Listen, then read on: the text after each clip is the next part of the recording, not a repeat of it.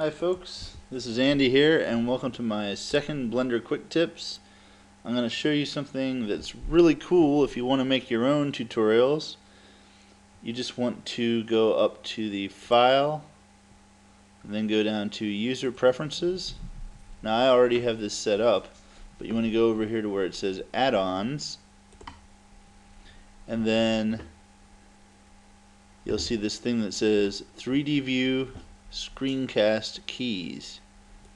Click it down. Make sure that it's checked.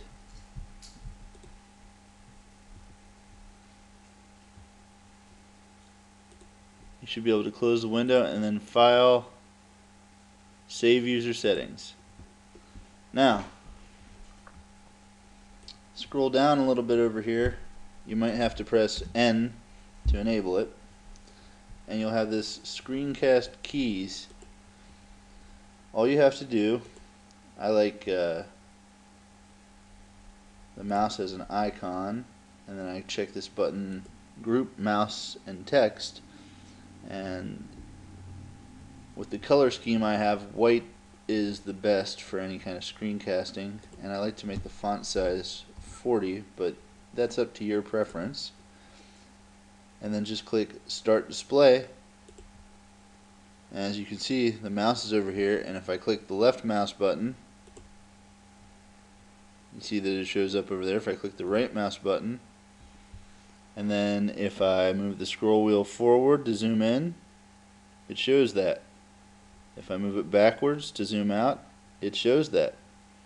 However if I use the numpad plus plus plus plus plus plus plus not only does it say that you've been using the numpad plus but it also says how many times you've used it and then it fades out.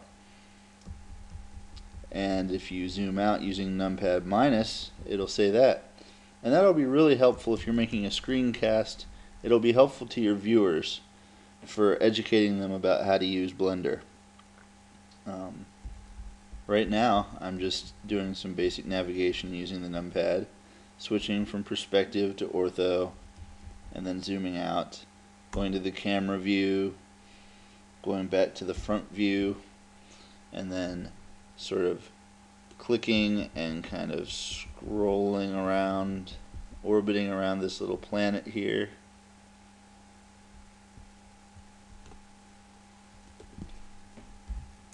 That's all I wanted to show you. I just thought it was a cool little tip if you want to do your own screencasting and I think all of my screencasts from now on are going to have this feature enabled. Thanks a lot guys. Have a great day.